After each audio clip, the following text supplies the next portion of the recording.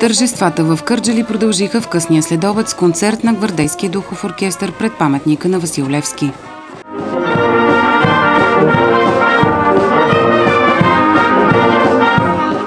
Залата на театъра в Родопския град се изпълни с желаящи да се насладят на изпълненията на ансамбъла на българската армия.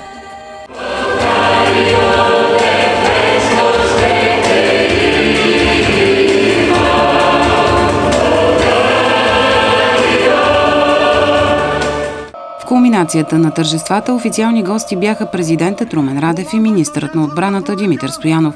Именно държавният глава прие почетния строй на националната гвардейска част, в която се включи и младежкия гвардейски отряд на Кърджали.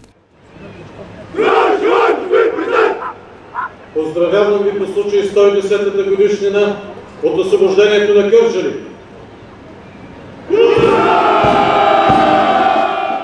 За мен е чест да отбележим заедно празника на град Кърджали.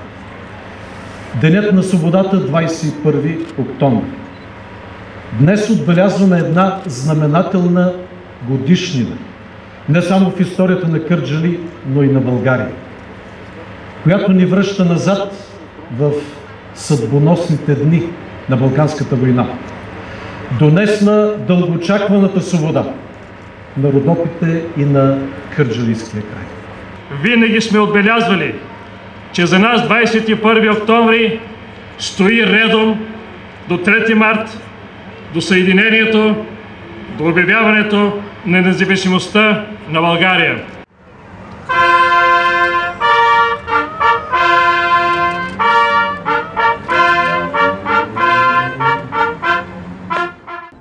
Румен Радев поздрави присъстващите, след което коментира политическата обстановка в страната. Да, Народното събрание започна да решава своите вътрешни проблеми. Очаквам в най-скоро време да започне да работи за хората. Кога ще свикате консултациите? Кога ги започвате? Започвам ги другата седмица. Нека малко се пооталожат емоциите, противопоставянето. Ще започна консултация. Изпълненият с емоции 21 октомври приключи с красива заря в небето над Кърджали.